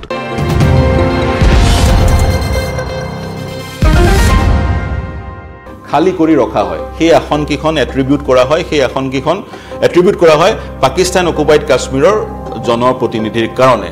বিভিন্ন সময়ত বাতৰি আহে। দুহেজাৰ তেইছ চনতো সংবাদ শিৰোনাম দখল কৰিছিলে আহ, গিলগিট আৰু বাল্টিস্তানৰ কিছু বাতৰিয়ে। গিলগিট আৰু বাল্টিস্তানৰ লোকসকলে বিভিন্ন সময়ত বিদ্ৰোহ কৰা পৰিলক্ষিত হয় পাকিস্তানৰ বিৰুদ্ধে বিদ্ৰোহ কৰা পৰিলক্ষিত হয়। আৰু সেই বিদ্ৰোহ যদি এনে এক পৰ্যায় পাইগৈ যদিহে তেওঁলোকে ভাৰতবৰ্ষৰ সৈতে স্বইচ্ছাই সংযুক্ত হ'ব পাৰে বিশ্ব সমুদায়ৰ মাজত এক এক বিশ্ব সমুদায়ৰ মাজত এক ধাৰণাৰ সৃষ্টি কৰি ভাৰতবৰ্ষই পাকিস্তান অকুপাইড কাশ্মীৰ দখল কৰিব পাৰে। যদিহে আক্ৰমণৰ যোগেদি ভাৰতবৰ্ষই পাকিস্তান অকুপাইড কাশ্মীৰ দখল কৰাৰ চিন্তা কৰে তেতিয়া চাইনাৰ পৰা কিছু থ্ৰেট বা কিছু শংকা ভাৰতবৰ্ষই লাভ কৰিব পাৰে কিছু ভাবুকি ভাৰতবৰ্ষই লাভ কৰিব পাৰে। কাৰণ আজিৰ তাৰিখত চাইনা আৰু পাকিস্তান হৈছে বন্ধু ৰাষ্ট্ৰ। এই যি চাক্সা চাক্স চাক্সগাম ভেলী এই ভেলীয়েদি চাইনা আৰু পাকিস্তান সংযুক্ত। আৰু এই ভেলীৰ মাজেদি এই উপত্যকাৰ মাজেদিয়ে চাইনাই Pakistan China Pakistan economic corridor প্ৰায় বিছ বিলিয়ন ডলাৰ খৰচ কৰি নিৰ্মাণ কৰিছে। চাইনা আৰু পাকিস্তান সংযোগী এক পথ এই চাকচাম ভেলীয়েদি নিৰ্মাণ হৈছে। আৰু যি পাকিস্তান চাইনা পাকিস্তান ইকনমিক কৰিডৰৰ কথা ক'লোঁ সেই ইকনমিক কৰিডৰ বা চাইনাৰ ৰোড এণ্ড বেল্ট ইনিচিয়েটিভো এই পাকিস চাইনাৰ অধিকৃত জম্মু কাশ্মীৰৰ এক অবিচ্ছেদ্য অংশ চাকচাম উপ উপত্যকা দিয়ে গৈছে। গতিকে চাইনাৰ পাকিস্তানত ইকনমিক ইণ্টাৰেষ্ট আছে আৰু এই ইকনমিক ইণ্টাৰেষ্টৰ ভেটি হৈছে এই চাকচাম ভেলী যি চাকচাম ভেলীয়ে চাইনা আৰু পাকিস্তানত হিমালয়ান ৰেঞ্জৰ মাজেদি সংযোগ কৰিছে। গতিকে যদিহে ভাৰতবৰ্ষই আক্ৰমণ কৰি পাকিস্তান অকুপাইড কাশ্মীৰ দখল কৰাৰ চিন্তা কৰে তেতিয়া চাইনাকো প্ৰতিহত কৰিবলৈ আন এক কৌশল ভাৰতবৰ্ষই ৰচিব লাগিব বা তাৰ কাৰণে প্ৰস্তুত হৈ থাকিব লাগিব। গতিকে ভৱিষ্যতে কেতিয়া পাকিস্তান অকুপাইড কাশ্মীৰ ভাৰতৰ অংশ হয় এই মুহূৰ্তত ক'ব পৰা নাযায় কিন্তু পৰিলক্ষিত হৈছে শাসক দল বিশেষকৈ বৰ্তমানৰ শাসক দল বিজেপিয়ে দাবী কৰিছে বিভিন্ন সময়ত বিভিন্ন শীৰ্ষ পৰ্যায়ৰ নেতাৰ যোগেদি। যদিহে চাৰিশখন আসন বিজেপিয়ে লাভ কৰে তেতিয়া পাকিস্তান অকুপাইড কাশ্মীৰ ভাৰতবৰ্ষৰ সঁচা অৰ্থত অংশ হৈ পৰিব। পৰৱৰ্তী সময়ত এই দাবী কিমান ফলপ্ৰসূ হয় পৰৱৰ্তী সময়ত গম পোৱা যাব পাকিস্তান অকুপাইড কাশ্মীৰ ভাৰতবৰ্ষৰ অংশ কেনেকৈ হ'ব পাৰে যদিও ভাৰতবৰ্ষৰ ইণ্ট্ৰিগেল পাৰ্ট প্ৰত্যক্ষভাৱে ভাৰতবৰ্ষৰ অংশ কেনেকৈ হ'ব পাৰে সময়ত গম পোৱা যাব কিন্তু বিষয়টো যথেষ্ট জটিল আৰু জিঅ' পলিটিকেলিও এই স্থান ভাৰতবৰ্ষৰ কাৰণে যথেষ্ট গুৰুত্বপূৰ্ণ। এই স্থান ভাৰতবৰ্ষৰ কাৰণে যথেষ্ট গুৰুত্বপূৰ্ণ। নেহেৰু বিভিন্নজনে ক'ব খোজে নেহেৰুৰ এটা ভুলৰ কাৰণে এই স্থান পাকিস্তান অকুপাইড কাশ্মীৰ আজিৰ তাৰিখত কাশ্মীৰৰ অংশ হৈ পৰিল। যদিহে নেহেৰুৱে সমগ্ৰ বিষয়টো ৰাষ্ট্ৰসংঘৰ মজিয়ালৈ লৈ নগ'লে হয় ভাৰতীয় সেনাই সেই আক্ৰমণকাৰী পস্তুন ট্ৰাইবছমেনবোৰক ইতিমধ্যেই পিছলৈ ঠেলি লৈ গৈছিলে। বাধ্য কৰাইছিল সেই ট্ৰাইবছমেনবোৰক পিছ হুহুকিবলৈ। যদিহে সমগ্ৰ বিষয়টো ৰাষ্ট্ৰসংঘৰ মজিয়ালৈ লৈ নগ'লে হয় তেতিয়া যুদ্ধবিৰতিৰ অৱকাশ নাহিলে হয়। ভাৰতীয় সেনাই সেই সময়ত ভাৰতীয় সেনাই এশ শতাংশই সেই আক্ৰমণকাৰীক পিছ পিছলৈ ঠেলি লৈ যাব পাৰিলে হয় আৰু পাকিস্তান অকুপাইড কাশ্মীৰ আজিৰ তাৰিখত ভাৰতৰ অংশ সঁচা অৰ্থত ভাৰতৰ অংশ বা বাস্তৱিকতে ভাৰতৰ অংশ হৈ থাকিলে হয়। আৰু ভাৰতৰ আৰু পাকিস্তানৰ যি এক এক শত্ৰুতামূলক সম্পৰ্ক এই সম্পৰ্কৰ অন্যতম কাৰণ হৈছে এই পাকিস্তান অকুপাইড কাশ্মীৰ কাশ্মীৰখন। গতিকে এই হিমালয়ান ব্লাণ্ডাৰ বুলি যাক কোৱা হয় হিমালয় হিমালয়ান ব্লাণ্ডাৰৰ কাৰণে এনে এক ঘটনা সংঘটিত হ'ল।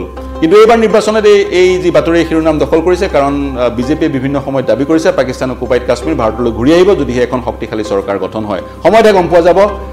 কেনেকৈ পাকিস্তান অকুপাইড কাশ্মীৰ ভাৰতৰ অংশ হৈ পৰে? ভাৰতে কূটনৈতিকভাৱে বিশ্ব মঞ্চত কেনেদৰে প্ৰভাৱ বিস্তাৰ কৰিব পাৰিব নে আক্ৰমণ কৰিব পাৰিব আক্ৰমণ কৰি সেই স্থান দখল কৰি ল'ব চাইনাৰ ভাবুকি কেনেকৈ প্ৰতিহত কৰিব আজিৰ তাৰিখত এটা প্ৰাসংগিক প্ৰশ্ন। তাৰ সমান্তৰালকৈ এটা কথা ক'ব বিচাৰিম। পাকিস্তান চাইনা ভাৰতবৰ্ষ এই তিনিওখন দেশ হৈছে নিউক্লিয়াৰ পাৱাৰ্ড কাণ্ট্ৰি। এই তিনিওখন দেশৰ হাতত আছে পাৰমাণৱিক অস্ত্ৰ। আজিৰ তাৰিখত পাকিস্তানৰ হাতত দুশ আশী kilogram weapon grade plutonium stockpile আছে। গতিকে এনেধৰণৰ সংঘাতবোৰে এখন সম্ভাৱ্য নিউক্লিয়াৰ ৱাৰ পাৰমাণৱিক যুদ্ধৰো সূচনা কৰিব পাৰে। গতিকে এনেধৰণৰ কাৰকবোৰ কিন্তু আছে। তৎসত্বেও বিজেপিয়ে এনেধৰণৰ দাবী উত্থাপন কৰিছে।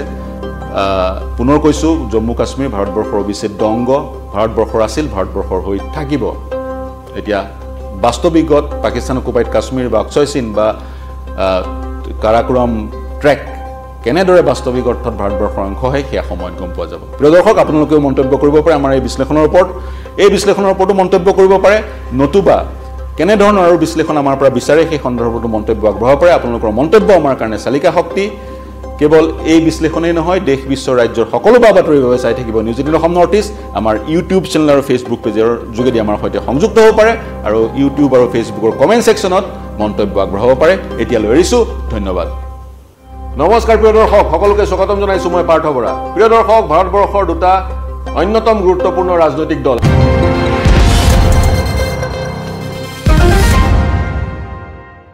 পাছত পুনৰ স্বাগতম আৰু প্ৰতিশ্ৰুতি নতুন এখন অসমীয়া ছবি চৌব্বিছ মে'ত ৰিলিজ হ'ব আৰু প্ৰায়কেইটা ছবি ঘৰতেই ৰিলিজ হ'ব আপোনালোকে গৈ চাব পাৰিব।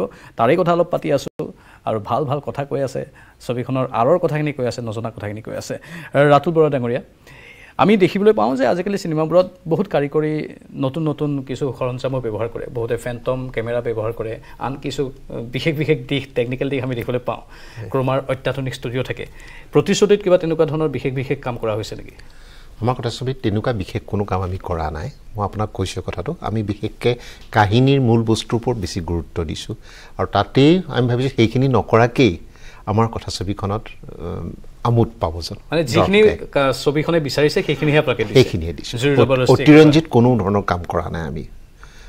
প্ৰচাৰৰ কাৰণেও বহুতখিনি কাম কৰিবলগীয়া থাকে। হয় প্ৰচাৰৰ কাৰণে কাম কৰিবলগীয়া থাকে। ধৰক এতিয়া আমি সেইখিনি আমি দেখুৱাইছোঁ। আমি ধৰক মই কৈছোঁ আমাৰ পুলিচ একশ্যন কিছুমানত আমি দেখুৱাইছোঁ য'ত মানুহে মনোৰঞ্জন পাব পুলিচে কেনেধৰণে কাম কৰিছে কি কৰিছে। মানে আমি এনেকুৱা এটা কৰিব গৈছোঁ যে গতানুগতিকভাৱে যিটো হৈ আছে মানে অবাস্তৱ কোনো এটা বস্তু দেখুৱাবলৈ যোৱা নাই। প্ৰতিটো চিনে আমাৰ বাস্তৱ ধৰ্মী কৰিছোঁ ৰিয়েলিষ্টিক সেই ফিলটো পাব হয় ৰিয়েলিষ্টিক ফিলটো পাব। আমাৰ লোকেশ্যন বৰ সুন্দৰ।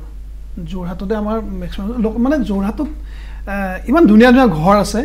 বৰ্ডাৰ লগত আমি যেতিয়া ৰেকি কৰিছোঁ আমি গৈছোঁ নহয় ঘৰবোৰ দেখি মই এনেকুৱা লাগে আহিম আৰু কেতিয়াবা চিনেমা কৰিব এইটো ঘৰতো আহিম। কোনোবা ঘৰত নাই কোনোবা বাহিৰত থাকে এনেকুৱা নহয়।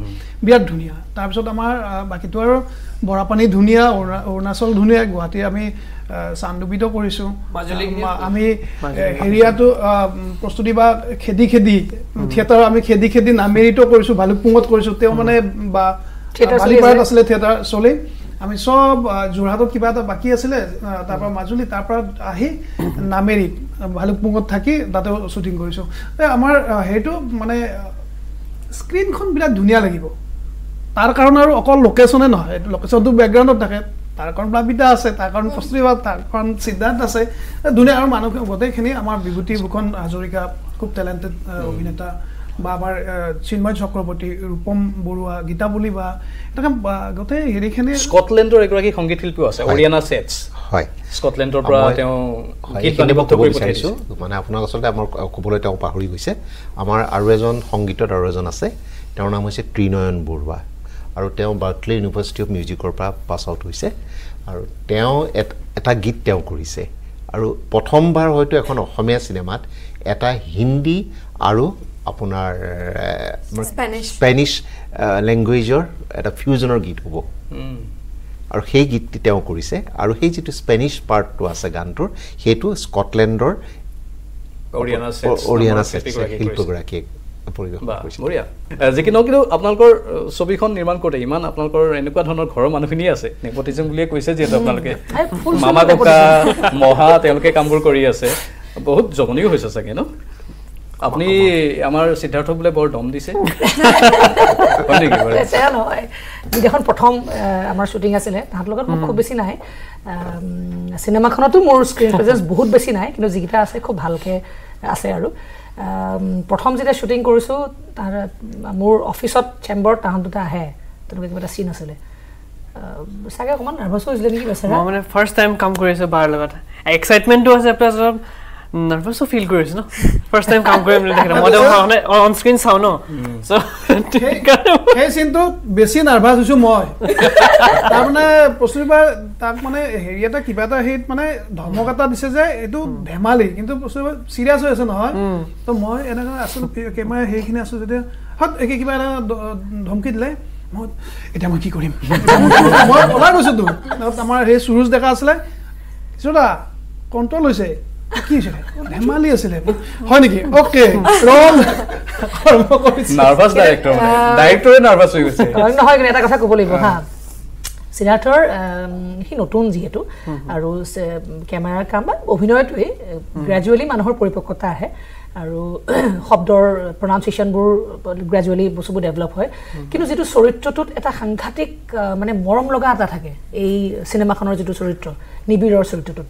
মানে ল'ৰাটোৰ প্ৰতি দেখিলেই যেন মানুহৰ এটা আৱেগ লগে লগে ওলায়। সেই আৱেগটো কিন্তু ইয়াৰ মুখখন দেখিলে ওলায়। তাৰ ইমান সি. মানে ব্লেছড হৈ আহিছে এখন ধুনীয়া মুখ লৈ পেলাই। আৰু তাৰ স্ক্ৰীণ প্ৰেজেঞ্চটো বৰ ভাল। আৰু তাৰ লগতে সোণত ফোৱাকা চলিছে চলাইছে। আমাৰ সোণজনীয়ে। গতিকে দুইটাকে দেখি ইমান ভাল লাগিছে দেখাত স্ক্ৰীণত আৰু মানে প্ৰেমিক প্ৰেমিকা নেকি? অলপ কৈ দিয়ক সেইবোৰ ইমান কৈ নহয়। সেইটো ট্ৰেইলাৰতে আছে। হিৰ' আৰু হিৰ'ইনৰ মাজত প্ৰেম নহ'লে আমি কি কৰিম নহ'লে? প্ৰেমত লগাবই লাগিব। লগাব লাগিব ন? লগাব. দুইটাকে বৰ ভাল লাগিছে দেখাত। মানে চিনেমাখনৰ সেই লুকটো বৰ ডাঙৰ কথা ন? লুকটো আৰু মানে চৰিত্ৰটা যেতিয়া কৰা যায় সেই চৰিত্ৰটো সঁচা যেন লাগিব লাগিব নহয়। এতিয়া মই যে ক'লোঁ পুলিচ বুলি ক'লে পুলিচ যেন লাগিব লাগিব দেখাত।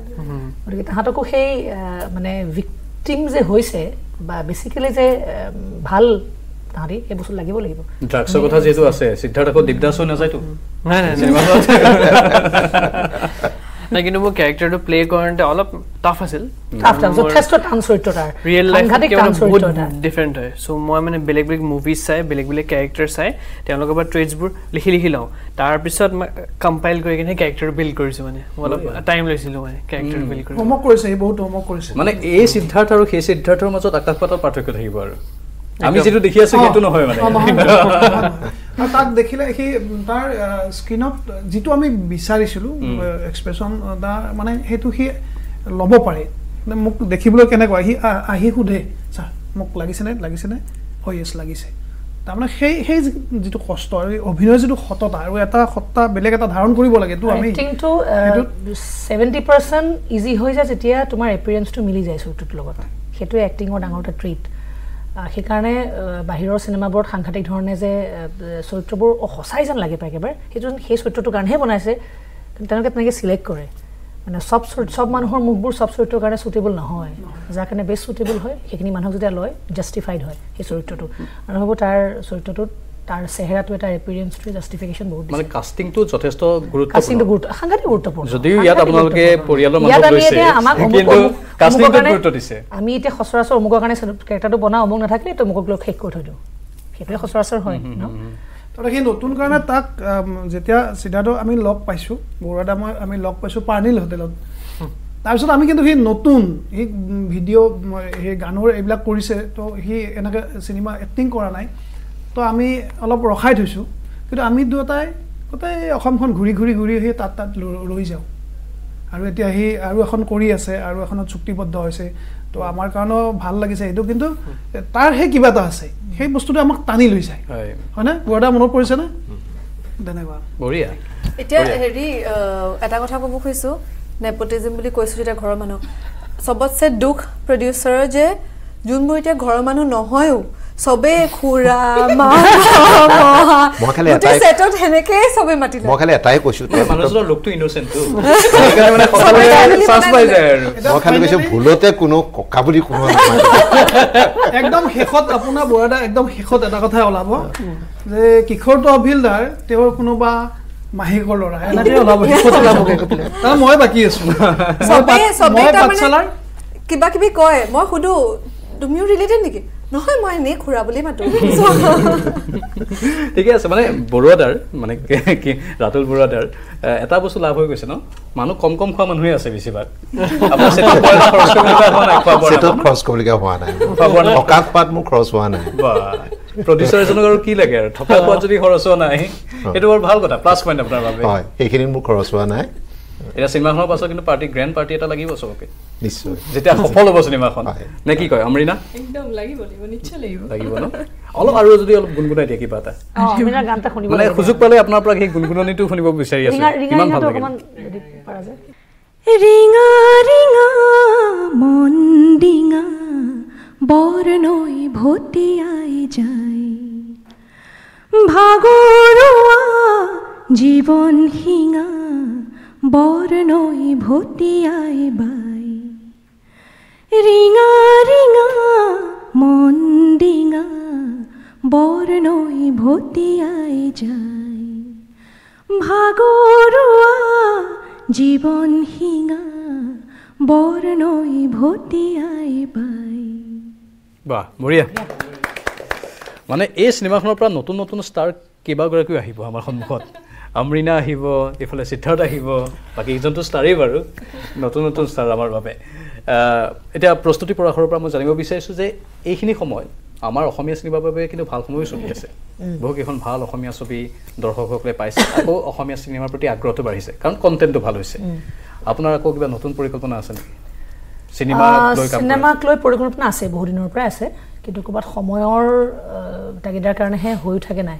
আচলতে মই বিশ্বাস কৰোঁ যে এখন ছবি ইমান ডাঙৰ এটা কেনভাছ সেই ছবিখনৰ কাৰণে যথেষ্ট পৰিমাণৰ সময়ৰ প্ৰয়োজন হয়। ছবিখনৰ একদম ষ্টৰি লাইনটো চিন্তা কৰাৰ পৰা তাক এনহান্স কৰালৈকে তাক স্ক্ৰীন প্লেটো বনোৱাৰ এই গোটেই গোটেই একদম আৰম্ভণিৰ পৰা শেষলৈকে দীঘলীয়া পৰিক্ৰমা। আৰু তাত যিমান সময় দিবা সিমান ভাল হ'ব সিমান পৰিপক্ক হ'ব।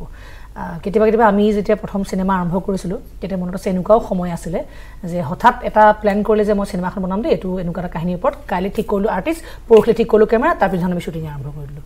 তাৰ লগে লগে শ্বুটিং শেষ হ'ল আৰু এডিটিং কৰি পেলাই উলিয়াই দিলে চিনেমা চ' ভাবোঁ তেনেকুৱাত ক'ৰবাত কিবা কিছুমান ৰৈ যায়গৈ ন? কাৰণ এটা বস্তু তুমি চাবা যেতিয়া এটা গল্প লিখিবা সেই গল্পটো তুমি প্ৰথমবাৰ লিখোঁতে তোমাৰ ওলাব আৱেগখিনি ওলাব। কিন্তু যেতিয়া তুমি ছেকেণ্ড টাইম পঢ়িবা তৃতীয়বাৰ পঢ়িবা তাৰ পৰা তুমি আৰু বস্তু ভাল ভাল উলিয়াই উলিয়াই তাক ডেভেলপ কৰি কৰি গৈ থাকিব পাৰা। প্ৰতিটো বস্তুতে একেটা একেটা সুৰ চাপ'জ তাই আজি যদি ৰিঙা ৰিঙাটো তাইক ছেকেণ্ড টাইম গাব দিছে গান অলপ বেটাৰ গাব তাই। নহয়? গতিকে সেই যে এটা শিল ঘঁহনি কৰি থাকিলে যে তাক পলিচ হৈ হৈ গৈ থাকে চিনেমাও তেনেকুৱা এটা প্ৰক্ৰিয়াই। হয়। আৰু সেই পলিচিঙৰ কাৰণে যিখিনি সময় লাগে সেই সময়খিনি দি পেলাই এখন চিনেমা বনোৱাটোহে মই উচিত বুলি ভাবোঁ। কাৰণ প্ৰতিজন দৰ্শকে তেওঁৰ অমূল্য সময় খৰচ কৰি এখন ছবি চাবলৈ আহে। অকল এণ্টাৰটেইনমেণ্ট বুলি মই নকওঁ। তেওঁৰ জীৱনৰ কিছু ঘণ্টা আমাক দিয়ে। দুঘণ্টা হওক আঢ়ৈ ঘণ্টা হওক কিছু ঘণ্টা আমাক দিয়ে। সেই ঘণ্টাটোৰ প্ৰতি আমি দায়বদ্ধ নহয় জানো? গতিকে প্ৰতিটো মানুহ প্ৰতিজন মানুহেই চিনেমাৰ লগত জড়িত হৈ থকা প্ৰতিজন মানুহেই সেই কথাটো আগত ৰাখিয়ে এখন চিনেমা নিৰ্মাণ কৰিব লাগে। সেই ছেকেণ্ড প্ৰতি ছেকেণ্ডটোৰ প্ৰতি আমি দায়বদ্ধ কিন্তু তেওঁলোকৰ। মৰ্মাৰ্থখিনি উপলব্ধি কৰাটো মূল কথা প্ৰস্তুতি পৰাশৰে যিখিনি কথা ক'লে। আৰু নতুন প্ৰজন্মৰ বাবে এটা প্ৰশ্ন মই সংযোজন কৰি দিছোঁ। হ'ব পাৰে বহুতৰ বাবে কমন এটা প্ৰশ্ন কিন্তু সেই প্ৰশ্নটোৰ সঠিক উত্তৰ আমি বিভিন্ন সময়ত নাপাওঁ। কাৰণ আপুনি চিনেমা থিয়েটাৰ একেলগে সমান্তৰাল গতিত চলাই নি আছে। আচলতে ইয়াৰ পৰা শিকিবলগীয়া কি আছে? আপোনাৰ অভিজ্ঞতাৰ পৰা যদি কয় আপুনি।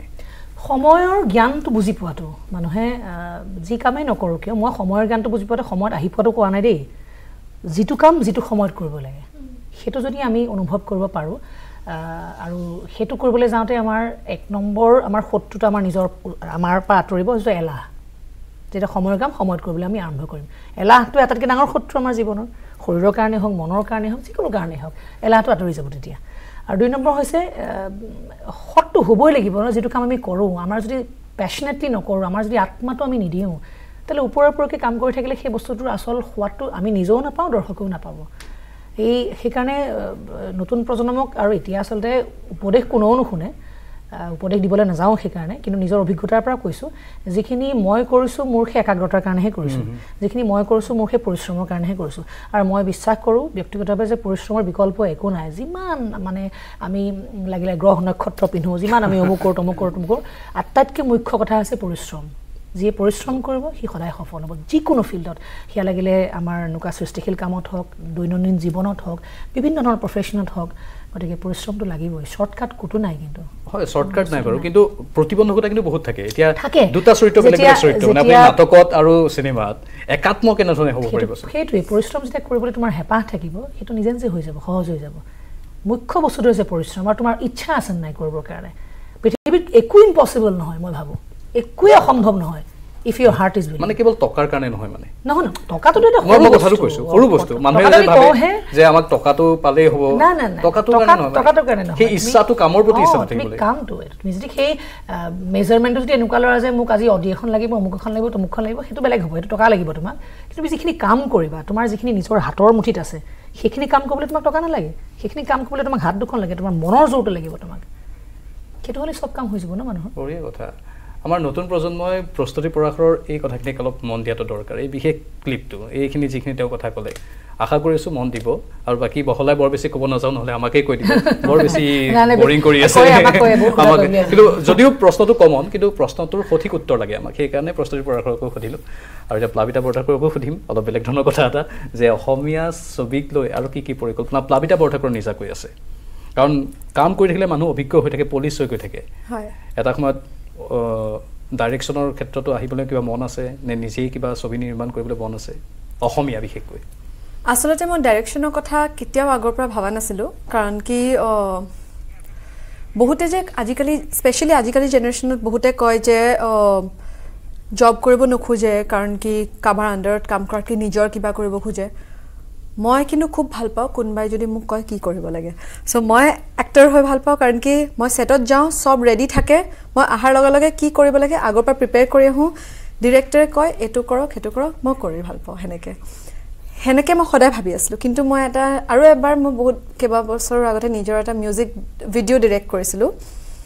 আৰু বহুত ষ্ট্ৰেছফুল আছিলে। তাৰপিছত ভাবিলোঁ এই বহুত ষ্ট্ৰেছ এইবোৰ কৰিব নোৱাৰি আৰু দেই।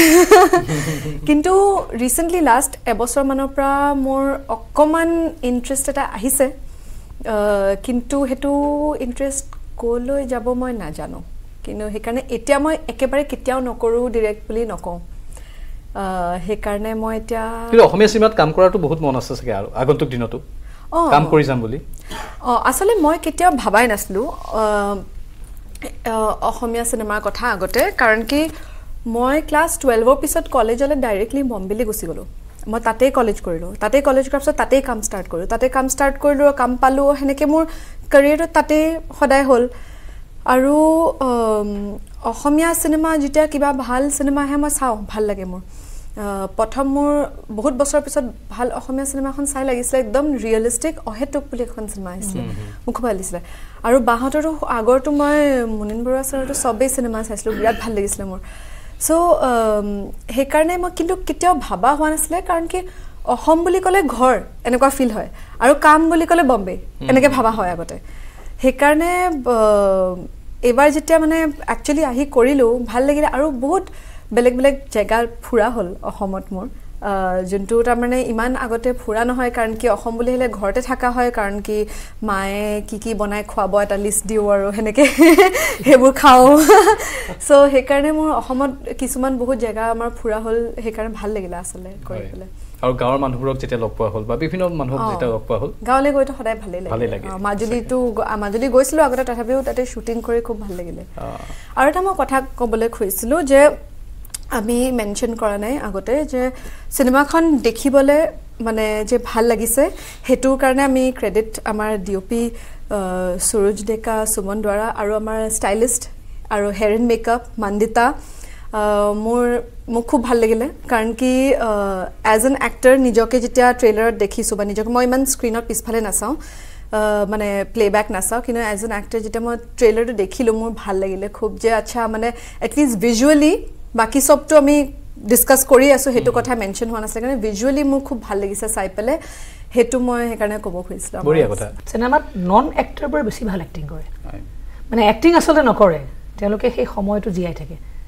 আমি এতিয়া সচৰাচৰ যিবোৰ একদম এষ্টাব্লিছড এক্টাৰ্ছ তেওঁলোকৰ পৰা আমি অলপ প্ৰেডিক্ট কৰোঁ যে এইজন আৰ্টিষ্টক আমি বহুত বছৰ দেখি দেখি এইজন আৰ্টিষ্টে এইখিনি সময়ত এনেকেই ৰিয়েক্ট কৰিব দেই। এইজন এনেকেই কান্দিব এইজন এনেকেই হাঁহিব এনেকুৱাই কৰিব। গতিকে এটা প্ৰিডিকশ্যন হৈ যায়গৈ। কিন্তু যেতিয়া নতুন একদম ফ্ৰেছ মুখ এখন পোৱা যায় এণ্ড তেওঁ যদি নতুনকৈ প্ৰথম কেমেৰা সন্মুখত ওলায় তেওঁ যদি ইম'শ্যনটো বুজি পায় তেওঁৰ পৰা আটাইতকৈ বেষ্ট এক্টিংটো ওলাব।